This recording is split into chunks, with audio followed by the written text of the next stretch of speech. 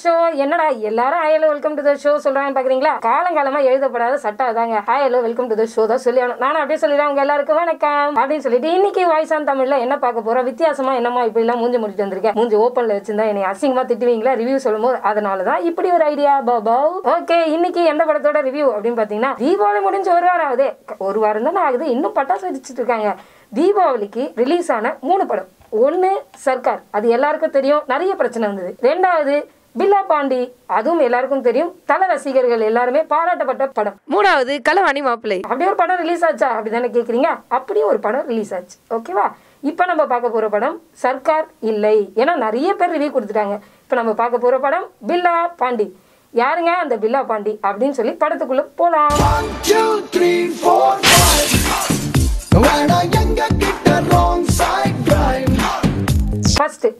Director Raj Sethupathi sir நிறைய படங்கள் அவரும் நடிச்சிருக்காரு. படத்தோட ஹீரோ யாருன்னு பாத்தீங்கன்னா எஸ் நம்ம one and only R K Suresh sir இவரு வந்து வில்லனா பண்ணலாம் டான்ஸ்லாம் நல்லா பண்ணுவாரு ஹீரோவா பண்ணா எப்படி இருக்கும்? படத்துல நிறைய பட்டாளங்கள் இருக்கு. ஆர் கே சுரேஷ் சார் தவிர வேற யாரெல்லாம் இருக்காங்க அப்படின்னு பாத்தீங்கன்னா ஹீரோயினா இந்துஜா சாந்தினி. என்னங்க ரெண்டு ஹீரோயினா அப்படின்னா அதுக்கும் ஒரு கதை இருக்கு. பிளாஷ்பேக் போலாம். வெயிட் பண்ணுங்க. அதுக்கப்புறம் தம்பிராமாய் சார் படத்தில் நல்லா பண்ணியிருக்காரு நல்லாவே பண்ணியிருக்காரு நிறைய ஆக்ஷன்ஸ்லாம் அதுக்கப்புறம் நம்ம அமுதவாணன் விஜய் டிவி ஃபேம்னே சொல்லலாம்.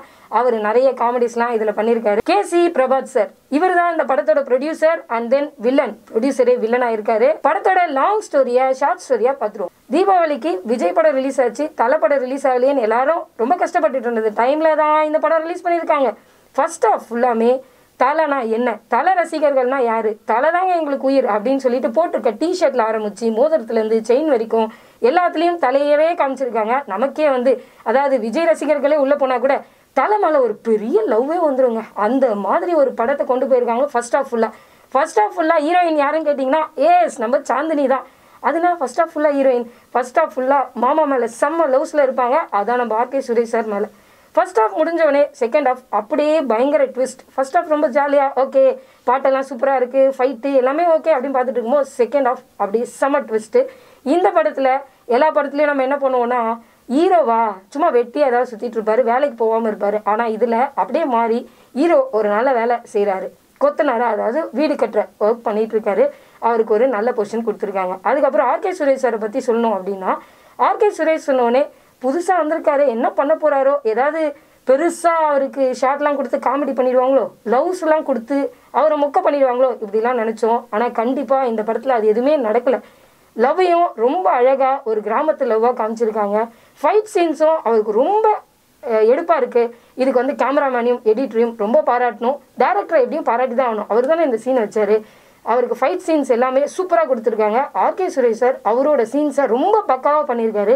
ஃபைட் எல்லாம் அவருக்காகவே தயாரித்த மாதிரி இருந்துச்சு. ரொம்ப ரொம்ப சூப்பராக பண்ணியிருந்தார். அதுக்கப்புறம் சாந்தினி இந்துஜா அவங்களோட ஆக்டிங் சொல்லவே வேண்டாம்.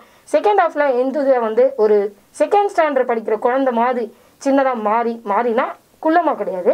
அவங்களோட கேரக்டரில் மாறி நடிச்சிருக்காங்க. ரொம்ப நல்லாவே நடிச்சிருக்காங்க. அதை வந்து ஆர்கே சுரேஷ் சார் பார்த்துக்கிறதும் ரொம்ப சூப்பராகவே இருக்குது இந்த செகண்ட் ஆஃப் முடிவில் யார் அவர் கல்யாணம் பண்ணிக்கிட்டாரு? சாந்தினியா இந்துஜா. இதை நான் சொல்லிட்டா நீங்கள் படத்துக்கு போக மாட்டீங்க. ஆனால் படத்தில் போய் அதை பார்த்துக்கோங்க. தம்பி ராமையா சாரோட கேரக்டரை எப்படி என் வாயால் சொல்கிறது சரி ஓகே வாய் முடியும் தானே இருக்கேன். அதனால சொல்லலை. என்ன அப்படின்னா ஃபுல்லாமே எங்கேயாவது பொண்ணு இருக்கா அப்படி சர்ச் பண்ணிகிட்டே இருக்காரு. அவருக்கு ஒரு ஃப்ளாஷ்பேக் ஏன் அவர் இந்த மாதிரி போகிறாரு ஏன் அவங்க ஒய்ஃப் கிட்ட அவர் வந்து ஜாலியாக இல்லை அப்படின்னு ஒரு ஃப்ளாஷ்பேக் வச்சுருக்காங்க பாருங்கள் அதை பார்த்தீங்கன்னு வச்சுக்கோங்க. செம்ம காமெடியாக இருக்கும். அப்படி ஒரு ஃப்ளாஷ்பேக் எல்லாருமே அவங்கவுங்க கேரக்டர் நல்லா பண்ணியிருக்காங்க. அமுதவானந்த் சார் நிறைய இடத்துல வந்து தலை வாய்ஸை பேசி கிளாப்ஸ் வாங்கியிருக்காரு. தேட்டரில் எல்லாருமே வந்து எல்லா ஷார்ட்ஸுமே ரொம்ப என்ஜாய் பண்ணி பார்த்தாங்க. என்ன அப்படின்னா தல ரசிகர்களுக்கான படமும் கூட எமோஷனும் இருக்குது ரெகுலரான ஸ்டோரியும் இருக்குது காதலும் இருக்குது ஃபைட்டும் இருக்குது டான்ஸும் இருக்குது இந்த படத்தில் எல்லாமே ஒட்டு மொத்தமாக கரெக்டாக வந்திருக்கு. இந்த படத்துக்கு தேங்க்ஸ் சொல்லணும் அப்படின்னு சொன்னால் டேரக்டருக்கும் சொல்லலாம். இந்த பக்கம் ஆகே சுரேஷ் சாருக்கு கண்டிப்பாக சொல்லி ஆகணும். ஏன்னா கரெக்டாக கதைக்கு ஏற்ற மாதிரி அவரோட ஆக்டிங்கை கொடுத்துருக்காரு. ஓவர் ஆக்டிங்காக இல்லாமல் படம் சூப்பராக வந்திருக்கு. தாராளமாக தேட்டரில் போய் ஒரு முறை வாட்ச் பண்ணலாம். அப்படியான படம் தான் இது. முக்கியமாக இந்த ரிவ்யூவை இவ்வளோ லேட்டாக கொடுக்கறதுக்கு ஒரே காரணம் என்ன அப்படின்னு பார்த்தீங்கன்னா படம் ரிலீஸ் ஆனப்போ சர்க்காரோட ஃபைட் பண்ணதால நிறைய தேட்டர்ஸ் அவங்களுக்கு கிடைக்கல. ஆனால் இப்போ வந்து ஃபிஃப்டி ப்ளஸ் தேட்டர்ஸ் வந்து எக்ஸஸ் ஆயிருக்கு. டோட்டலாக தமிழ்நாட்டில் ஒன் ஃபிஃப்டி ப்ளஸ் தேட்டர்ஸில் படம் ஓடிட்டுருக்கு. இதுதான் நம்ம தலையோட சாதனை. படத்தில் ஒரு பாடல் வந்து அஜித்காகவே நம்ம தலைக்காகவே கொடுத்துருக்காங்க. அந்த பாடல் எக்ஸ்க்ளூசிவாக சூப்பராக இருக்குது அதுவும் தேட்டரில் பார்க்கும்போது எல்லாரோட ஆரவாரத்தோடு பார்க்கும்போது ரொம்பவே சூப்பராக இருக்குது அதுக்கடுத்து இந்த படத்தை வந்து அஜித் ரசிகர்கள்லாம் சேர்ந்து எடுத்ததா டேரக்டர் சொன்னார். கண்டிப்பாக அவங்களுக்கும் ஒரு பெரிய ஆட்ஸ் ஆஃப் பண்ணிடணும். அவங்களோட உழைப்புக்கும் அவங்களோட இந்த ஆர்வத்துக்கும் பெரிய பெரிய ஆட்ஸ் ஆஃப் பெரிய ஆக்டர்ஸ் இருக்காங்களா அப்படின்னு கேட்டால் அப்படிலாம் சொல்ல முடியாது. ஆனால் பெரிய படமாக இந்த ஆக்டர்ஸ் எல்லாரும் சேர்ந்து பண்ணியிருக்காங்க.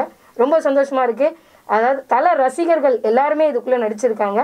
அதுதான் இந்த படத்தோட ப்ளஸ் தல ரசிகர்கள் மட்டும் இல்லாமல் எல்லாருமே இந்த படத்தை போய் பார்க்கலாம் அப்படின்னு சொல்லிட்டு இந்த லேட் ரிவ்யூலேருந்து டாடா பை பை சொல்லிட்டு அடுத்த ஒரு ரிவ்யூவில் உங்களை வந்து சந்திக்கிறேன். விழாபாண்டி படத்துக்கு நம்ம தலை தான் அல்லு. மறக்காமல் அழுத்திடுங்க. சப்ஸ்கிரைப் பக்கத்தில் இருக்க பில்லு